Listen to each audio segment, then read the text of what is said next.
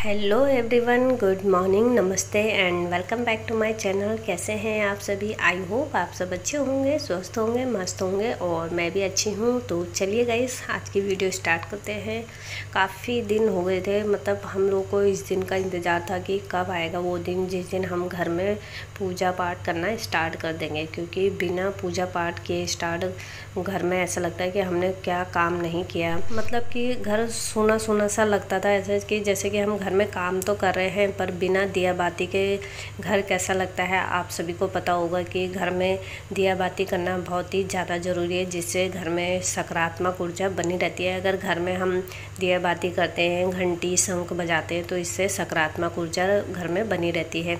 तो बस इसीलिए हम लोगों को बिना पूजा किए हुए ऐसा लग रहा था कि हमारा कब आएगा वो दिन जिस दिन हम पूज, पूजा पाठ करना स्टार्ट करेंगे।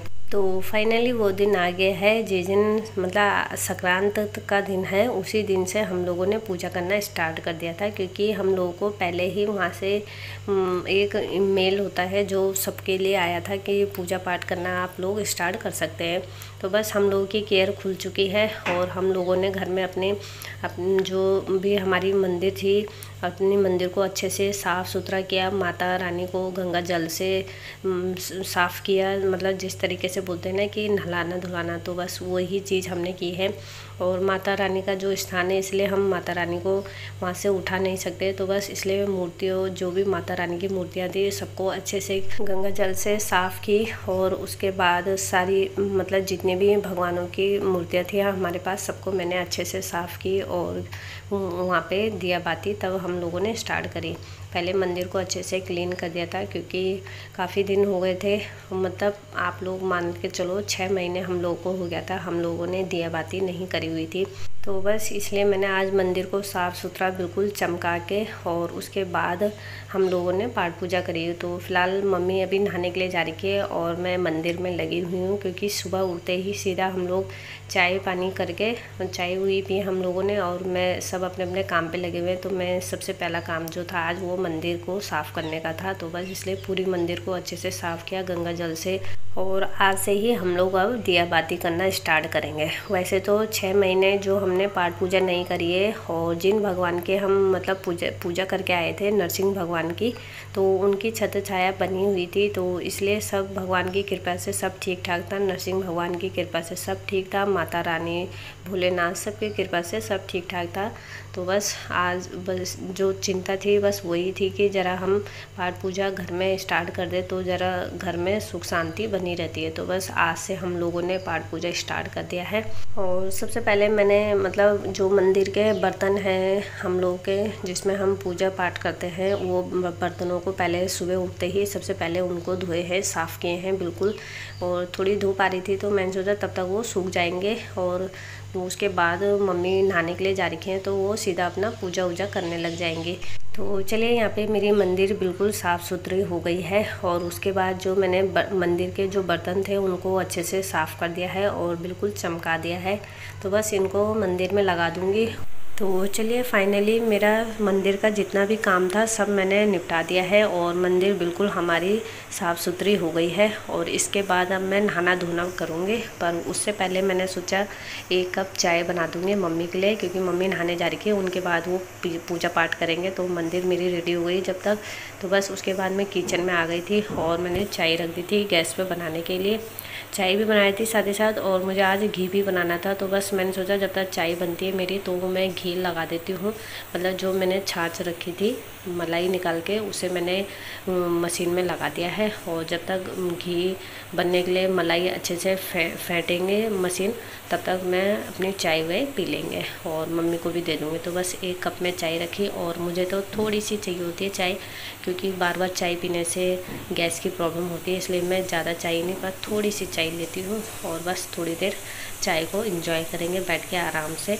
वैसे तो मॉर्निंग में हम लोगों के पास सबसे ज़्यादा काम रहता है, पर और और दिन के मुकाबले मेरे पास आज ज़्यादा काम है मॉर्निंग में क्योंकि आज हम लोगों ने अपना घर में पाठ पाठ पूजा भी करनी है तो बस अब जो मम्मी का रूम है उसको भी अच्छे से साफ़ करना था मुझे और जो मंदिर है वहाँ तो मैंने अच्छे से क्लीनिंग कर दी है।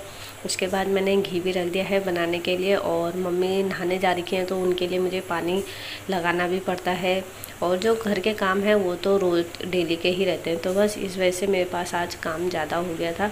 इसलिए मॉर्निंग में जल्दी उठ के पहले मैंने अपने कामों को धीरे धीरे करके निपटाया है। और जैसे ही मंदिर साफ़ करके मैं आई हूँ तो थोड़ा थक लगी तो मैंने चाय बनाई है। क्योंकि चाय पी के कहते हैं ना कि थकान हम लोगों की थोड़ी सी हट जाती है। तो बस चाय पीने से हम लोगों की थकान हट गई है और उसके बाद मैं अपने काम पे फिर से लग गई हूँ। तो यहाँ पे आप देख सकते हैं कि जो मैंने मलाई मशीन में लगाई थी फेंटने के लिए, वो अच्छे से हो गई है और बस अब जितना भी घी बना हुआ है उनको काली कढ़ाई में निकाल के रख दूँगी और उसके बाद जितनी भी छाछ रहेगी, आज दिन में उसकी कड़ी बना दूँगी मैं। और क्योंकि बच्चों को कड़ी पकौड़ा बहुत पसंद है और रावत जी को तो सबसे ज़्यादा पसंद है, पर ध्रुव तो इतना नहीं खाता है, पर रावत जी को बहुत पसंद है कड़ी कड़ी पकौड़ा। तो बस आज दिन में हम लोगों का कड़ी पकौड़ा बनने वाला है तो फटाफट से मलाई को, सॉरी, घी को निकाल देते हैं और इसको गलाने के लिए रख दूँगी मैं।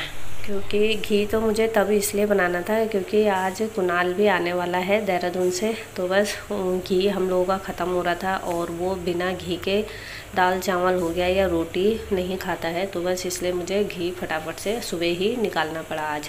तो बस यहाँ पे घी मैंने निकाल दी है और इसको गलाने के लिए रख दूँगी। क्योंकि जब बच्चे हम लोगों से दूर रहते हैं ना तो फिर उनका ध्यान मतलब हम लोग का, माँ का ध्यान बच्चों की तरफ़ ज़्यादा हो जाता है कि बच्चों को ये अच्छा लगता है तो आज ये बनाऊँगी।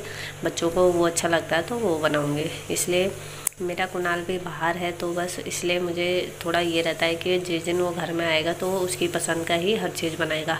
तो बस यहाँ पे घी बनाने की तैयारी हो रही है और जैसे ही घर में आएगा तो बस जैसे ही जो उसकी डिमांड होगी, वो ही घर में एक हफ़्ते तक चलता है। तो चलिए यहाँ पे मैंने घी निकाल दिया है और इसको अच्छे से साफ़ भी कर दिया है क्योंकि घी को हमें बार बार धो के ही गलाना चाहिए क्योंकि उसमें नहीं तो छाछ की स्मेल आती है। तो बस यहाँ पे घी को मैंने जो मतलब ये मक्खन है, उसको अच्छे से साफ़ पानी से साफ़ करके और गलाने के लिए रख दिया था। तो बस यहाँ पे आप देख सकते हैं, घी मेरा बनने वाला है। अभी पूरी तरीके से बना नहीं है, पर घी बनने ही वाला है। यहाँ पे घी में झाग बनना स्टार्ट हो गया है तो इसका मतलब हमारा घी रेडी होने वाला है। तो फाइनली घी हमारा बन चुका है। आप देख सकते हैं कि जो इसमें थोड़ा जो छाछ होती है, ये जो काला काला दिख रहा है, वो छाछ है और बन के रेडी हो गया है तो मैंने घी निकाल दिया है। तो बस किचन का मेरा काम ख़त्म हुआ कुकिंग का और बस अब अपने काम पे लग जाऊँगी। जो मॉर्निंग के डेली के काम होते हैं, उनको स्टार्ट कर दूँगी।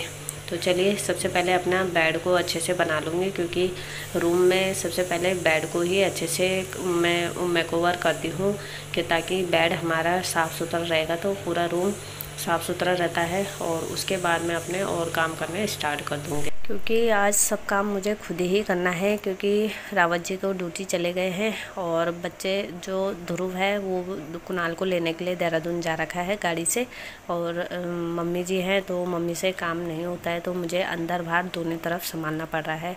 तो चलिए गाइस काफ़ी टाइम लगेगा मुझे सफ़ाई करने में, इसलिए अपनी वीडियो को यहीं पर एंड करूँगी। और अगर आपको मेरी वीडियो थोड़ी सी भी पसंद आए तो लाइक शेयर और सब्सक्राइब करना बिल्कुल ना भूलें।